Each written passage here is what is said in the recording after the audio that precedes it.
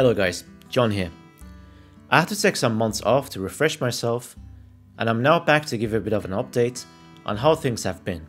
So as of recently, I'm no longer partnered with Crytek and I won't be playing or covering any more content for Hunt Showdown. In this video I will explain how and why it came to this after spending thousands of hours on the game. First of all, if you were a follower of this channel in the past uh, year or two, you would have known how much passion I've had for this game, but unfortunately I experienced a major burnout on the game ever since summertime, and my tolerance for all the frustrating mechanics and the server performance reached an all-time low. I even tried taking 3 months off and came back only to experience the same frustrating stuff. I've tried giving feedback or making videos about the issues, but the reaction I've received in return was not really pleasant. So I've decided to move on from the game and call it a night. Unfortunately, there are stuff that I can't talk about to give you a fully transparent image of what happened in the partnership. I have signed a non-disclosure agreement when I became a partner and I'm going to respect that, which disables me to do such thing. So I just have to take those stuff in like a man and accept that I can't really talk to anyone about it. I gave it some weeks to cool off and decided that sharing any details won't really bring me any good and it will cause a lot of unintended damage. So I thought at the end of the day, I won't play the game anymore, so why would I even bother with the trouble? I did however, decide to make this video as a farewell to the Hunt community and those who were here for the journey both on console and PC version of the game. I would like to thank you all for being here during the ride. So getting back to why my passion was sucked dry for the game and why I decided to let it go for good. First of all, I've realized that the game is a much changed product comparing to what I paid for about 2 years ago.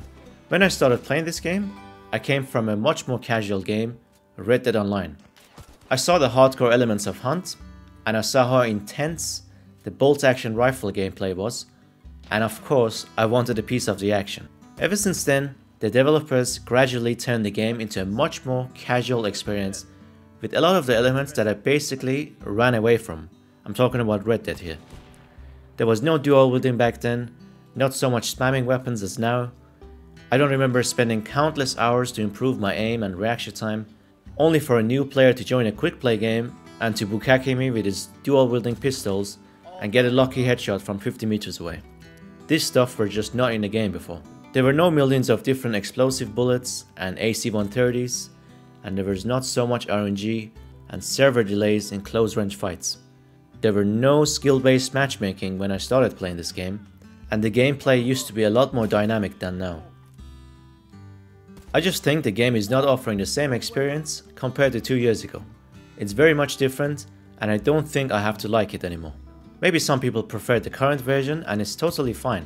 They should continue playing what they please and what they enjoy. I'm not trying to discourage anyone from playing the game.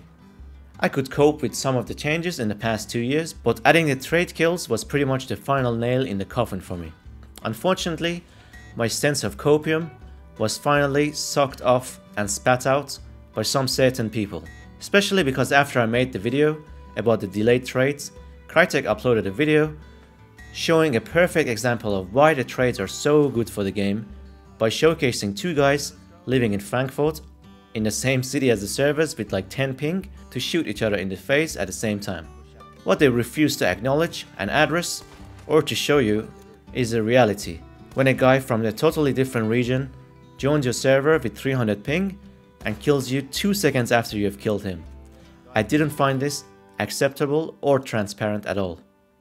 I guess it's like going to your favorite restaurant for years and suddenly they make some major changes to the recipes. If you don't like the changes, it's probably just best to move on. You can of course give feedback to the chef, but if the chef is pretending to be asleep or just doesn't care, you're just wasting your time and energy. And also at the end of the day, a business owner can do whatever he wants with his business, whether you agree with him or not. And finally, stale gameplay, repetitive content, and in-game events. Doesn't matter how good or bad a game is, at some point it's going to become repetitive and boring. That limit is different for everyone. Maybe for someone that's about 500 hours, and some other player can play the same game for 10,000 hours and still enjoy it. After nearly 3,000 hours, combined on PC and PlayStation 4, I think it's just time to move on to something different to refresh gaming for myself. I got tired of the same stuff over and over again, and the in-game events started to feel pretty pointless to me. It was always the same thing, smash the statues or the pumpkins for event points until you unlock some in-game item. Gotta admit that we lost a bit of a creativity there, when it came to new additions and game modes. The gameplay at top elo also became so stale, lost its uniqueness ever since their skill-based matchmaking. It's always about Jimmy sitting in bushes with his Mosin sniper, 300 meters away and never pushing the objective, or Timmy sitting inside the building in his Constantina castle with shotgun, while he's watching grannies and trannies on his second monitor. And the fact that the trades made the close range fights so predictable made the gameplay so boring for me, as I already knew the result before pushing. It made solo play totally pointless. So, I gave you a piece of my mind, and now how about we stop with all the negative stuff and finish up with some cheerful footage. It's good to know that I did have a lot of fun in Hunt when it wasn't frustrating for me, and I would like to share those moments with you. I thank you so much for being here, and I hope you enjoy these clips.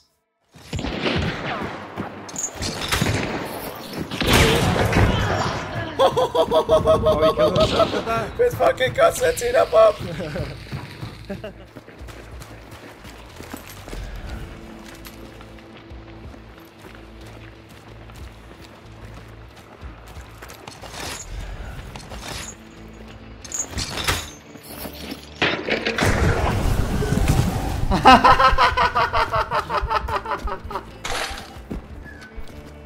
you like glory holes?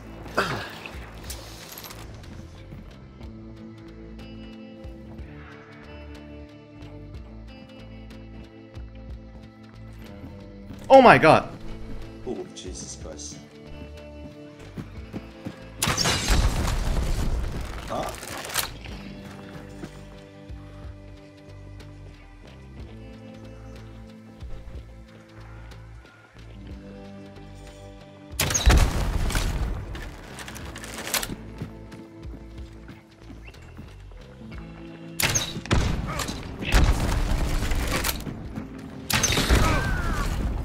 My God.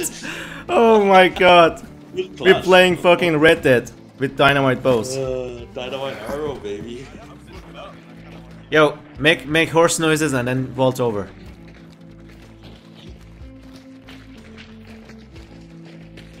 What? Make make horse noises as well. It's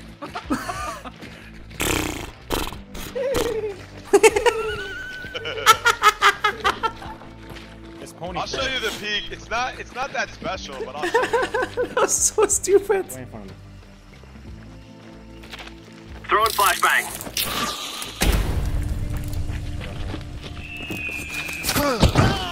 Oh my god. Oh my god, imagine getting like a collateral headshot, dude. Fuck this shit, I'm out. Look at him!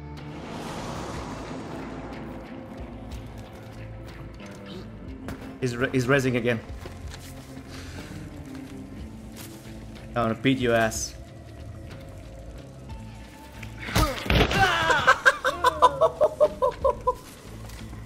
oh my god. What? Oh my god. This guy. I wanted to call him dog shit, but I felt bad. As you know, we've all had like shitty moments like that.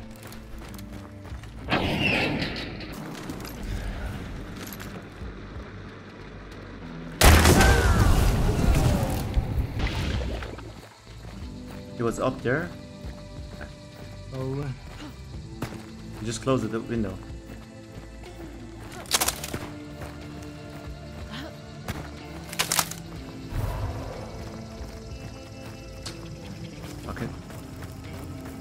But there's a third one too, right? No, I don't think so. He has a dodge though. I'm gonna flash him.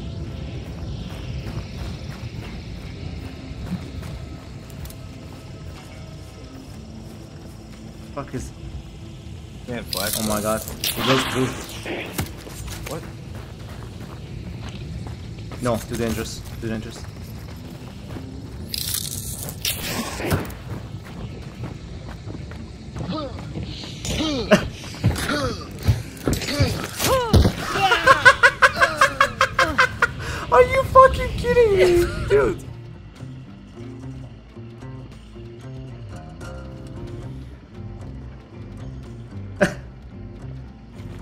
Behind you, behind you.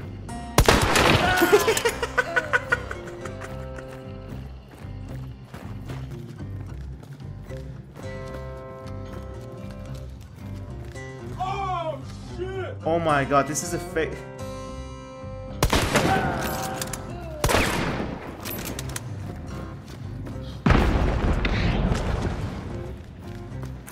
Filthy campers. Disgusting. Disgusting! He's up there, isn't he?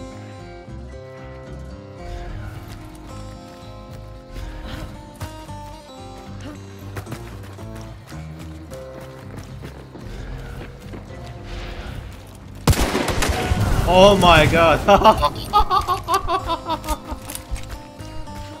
oh my Jesus. Apple, what's up?